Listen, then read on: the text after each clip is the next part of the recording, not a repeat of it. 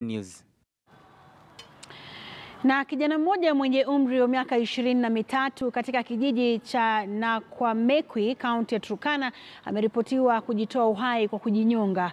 Inaarifiwa kwamba marehemu ekai Losirita alijinyonga kwa kutumia shuka katika kijiji hicho kilichoko eneo la Lodwar.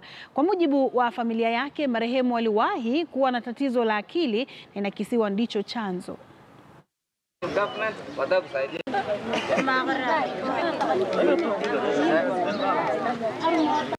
Gundua mwendo wa saa kumi ile mimi niliamka because tulikuwa naye karibu saa tano usiku, hata nilikuwa macho.